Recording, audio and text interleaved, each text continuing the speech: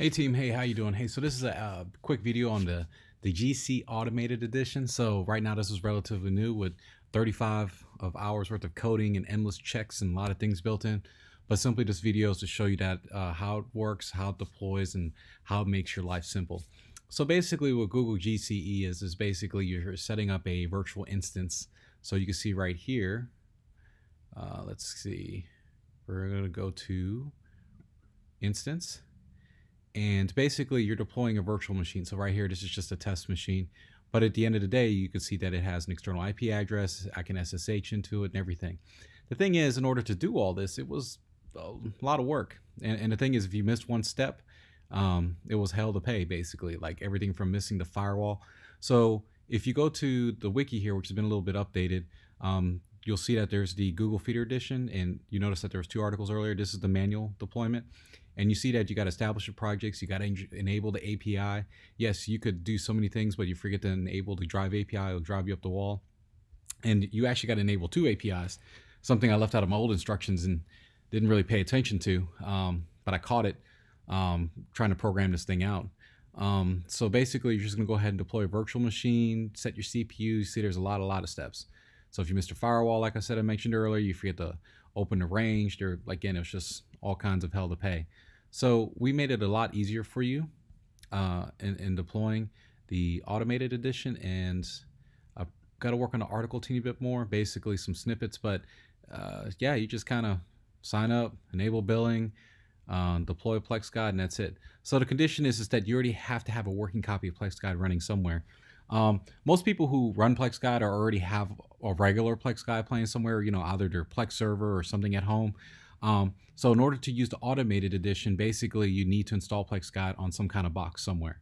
Uh, it kind of makes sense because, you know, uh, how are you going to deploy all these commands? So unless you're running Ubuntu natively on your computer and you want to install Plex Guide directly, this is something you're going to have to do. So we're going to go ahead and kick it off. Um, I did a little bit of testing just to make sure that everything worked. And uh, it's a good thing I did because uh, there was a billing checker that kind of blocked everything. So in this one, I do have uh, many checkers built in. And the reason for it is, is because if you forget to do anything, it will just drive you up the wall and then you'll kind of like light up our forms. The only thing I haven't done for version 2.66, which this version will be, is, is that when you deploy it, it doesn't check to see if you set all these conditions. So it's kind of really obvious, but you never know you know so if you forget to set the ip you forget to set the processor count you don't log into an account and you try to deploy it it's going to give you errors. It just kind of makes sense right? So anyways the first thing you're going to do is you're going to go ahead and log into your account. So you can see i'm already logged in.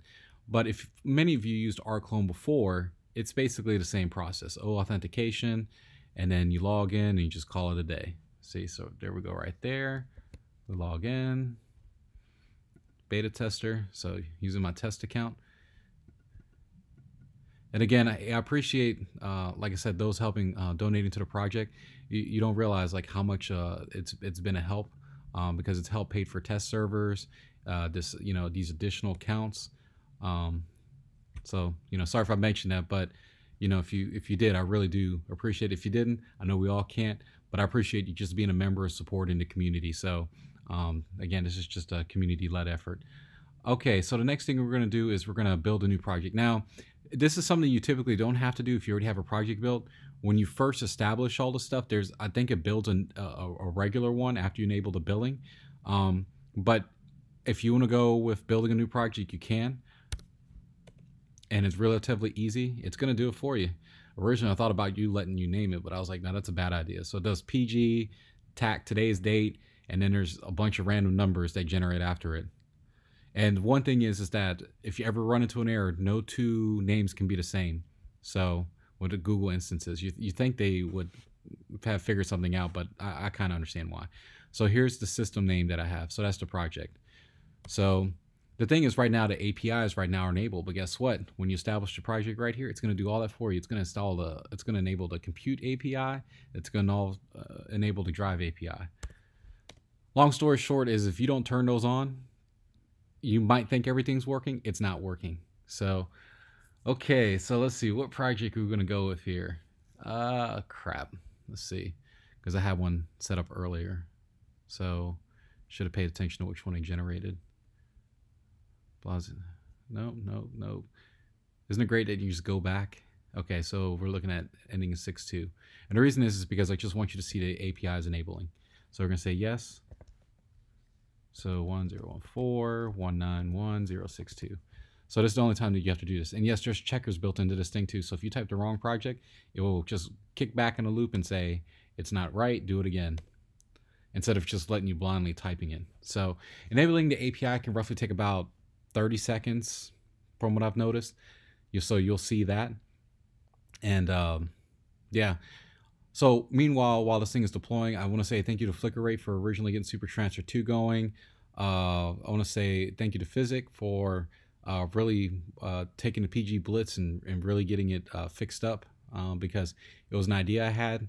And uh, yeah, it's just really complicated to deploy it. Um, and then Thurza, can never say your name right, Terza, um, you know, for the idea of uh, getting some of these things going. So um, there's a lot of work behind the scenes from a lot of the members getting this. So, okay. So sometimes up to a minute, right? But again, I'm just showing you this real time because I want you to see what you're doing. Now, if you create, um, let's say you already had a project built and you already enabled the APIs, it, it will just blow this, it will blow through this within two seconds. There you go. See? And enabling drive API, that one's really short. And there you go. See, successfully finished. So, and look at that, bam. See, now we got our project ID set. So, okay, so set processor count. Okay, so right now it's executing the processor count, as mentioned earlier. So the thing is, you can only deploy two, four, or six processors. You may, you may have noticed a slight interruption, but yeah, it looks like I need to fix that still. So anyways, you can only do two, four, six. If you do three or five, it won't work. So we're gonna go ahead and do two. Let's let's do three as a test. Okay, good. I'm just making sure that worked. okay. Yeah, because it gave me an error about templates and stuff like that.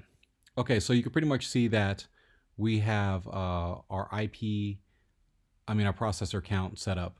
So next thing we're going to do is we're going to go to set IP. Sorry, I got a little ahead of myself there. And the reason for was because I kind of had to go back on this. Okay, so it's asking what server do we want to pick and what location. So I'm going to go ahead and do US West 2. And then we're going to go ahead and hit enter. And from here, what we should see, it'll, what it will do is it'll delete any prior uh, GCP IP addresses. So it's a good thing because it's basically fixed. So deleted it. Okay, so that's set. And right now it's creating an IP address for you. The one thing is, is that this IP address right here, it you, it will drive you crazy when you're manually doing this, but it doesn't assign it yet. So all you're doing is putting in a reserve, see? Reserve. So in order to make it work, you have to attach the IP address to the VM. And that was hell to pay. It was hard. Okay, so right now we have to pick a server type. And originally when this whole thing was coded out, yeah, it, it, was just, this part right here ate like a good 10 hours of my life. Okay, so we got that set. So now we're going to deploy the virtual machine. And while this is deploying, we should almost see this kick in and we'll see the virtual instance running there. So the firewall rules earlier, I did record it, but long story short is, is that it automatically builds out the firewall rules for you so you don't have any issues. Uh, again, if it's something you forgot to do, it, it just wouldn't work. So you can see here's our machine and it's going to say, please stand by. We're going to kind of see where this goes from here. So you can see how the IP address came up and you see how it says, hey, it's attached to VM instance PGGC. So you can see that's working. So, and this should probably almost come up soon too, or I might have to refresh it. So it's assigning the IP address to it, which is good. Um, okay. Come on up. Just waiting for this to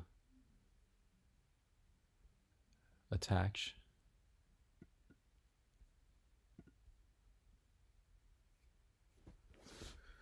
Fingers crossed. Don't want to record this again. Okay, it says deployment complete. So, oh, you know what? It didn't come up is because we are in a different ID. One thing I learned. See, I caught myself on this. There it is. There's there's that right there. And let's see if we refresh that page. I know it works. Yep, there you go. You saw it disappear. Okay, good. So yeah, you have to be on the right project to see it, but normally that's something you don't have to do. Okay, good. Glad all that worked. Okay, so the server box is now deployed. Now, how do you get into it? This is the Google box. You can't just typically SSH into unless you specifically tell it to, and it's it's a kind of a long process. But I made I set it up where you can basically SSH in here, and looks like I need to fix that spelling error. But anyways, you can either click this, and that's a long way of doing it because you always have to come to your browser and do this, or you can do it right here. So the first time that you log in, it's going to ask you to create a passcode. If you ever have any issues or you forget it, uh, you can delete uh, you can delete it and try to get in again. Okay, so it says yes, and please remember your pass key, passphrase for your for your keys. Um,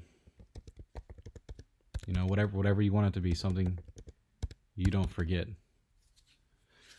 And so this is only a one-time thing that you're doing here. After that, it will just kind of go straight into your box. So I made life a little bit more easy for you. I was kind of determined to do that. So again, this project has it enables your this part of the project enables your APIs. It's building out the IP addresses, the virtual machine. It's checking the billing. Good thing we haven't seen billing errors. I saw it in the very beginning when I started this video, a part you haven't seen. And there is that key-ish key thing right there.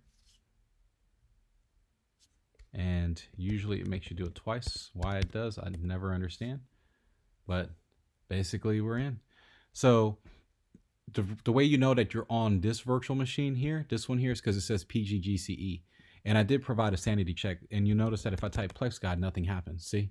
So in order to get the VM instance running, you need to install PlexGuide like how you did on your first machine, and then you select GCE edition. Once you do that, you're, you're pretty much set. It'll, it'll uh, and the reason you're selecting the GC edition on that because it specifically mounts a Google Drive for. I mean, it doesn't mount your Google Drive. It mounts a uh, a partition, I mean, a, a, hard drive for you so everything works.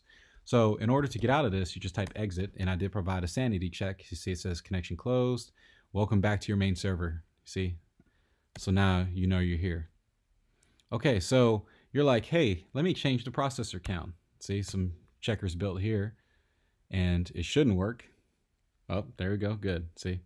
So it knows that if the server is deployed, it won't let you change anything. Why? Because if you change things while a server's deployed and you try to redeploy it, it's just going to mess things up. So if you're running into that right here where you want to change stuff, you need to delete the server. Now be aware when you delete the server, make sure you back up your data to the Google Drive using the backup uh, thing built in. But if you need to destroy the server at any time, you can go ahead and destroy it. And You just click 9 and it'll do everything for you. So we should see this disappear eventually. And remember what I was talking about with the billing. Again, if, if, if you're getting like billing issues, make sure you don't have too many projects. Like like I said, no more than like two or three uh, while you're using the credits. And just a little bit of a tip: if you want, let's say you run out of your three hundred dollars worth of credits, guess what you can do? You can sign up for another account, complete new account. Uh, make sure you have a different domain. I use the same domain here, so I got three hundred dollars worth of credits again, eh, but it's been like two months. Um, and make sure you have a different credit card. If you use a bank, it's gonna you're gonna have to wait a while because Google has to do two small deposits to your bank account in order to verify everything. So this VM should disappear. Yep, it did. And then this static IP address, I, I don't believe it's deleted. It just puts it back on reserve again for you. Yep. Well, whatever. Yeah, in use by none. Okay, got it. Okay, perfect. Okay, so that worked. So long story short, uh, Google will do deposits. That's the long way doing it. So make sure you use a different card. And then the question you may ask is, well, if I have a different account, do I have to get a whole nother team drive? You got to remember your team drive. Remember those JSON keys and all that stuff you deploy? Well, guess what? All you have to do is do the same process on your second box or your second account, and you're back to your original team drive. When you're creating a whole new G Suite for just for credits, basically all it's doing is is deploying a virtual machine. That is the only thing that the credits matter. You can always use, you can always log back in. Um, you can always log back into your um, main account and and and and download those keys and you're good from there. But that's the whole. This is the whole purpose of this video. It's just to kind of give you a little bit of confidence in everything working. It's good I did it. Uh, managed to catch two more small mistakes. I tested the hell out of this thing as much as I could, and this was basically in a new box.